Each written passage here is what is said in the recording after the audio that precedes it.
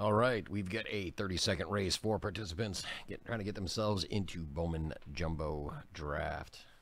We're going to switch over, shuffle seven times, and then we will start the race. Let's do that now. Here we go. There is one, two, three, four, five, six, and seven. They're off.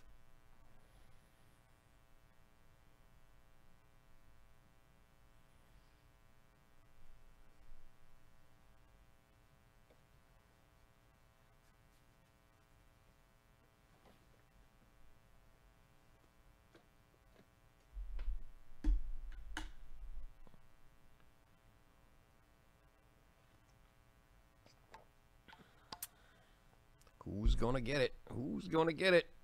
Oh, Joe S. still has those flip flops super glued to his feet. Congratulations, Joe S.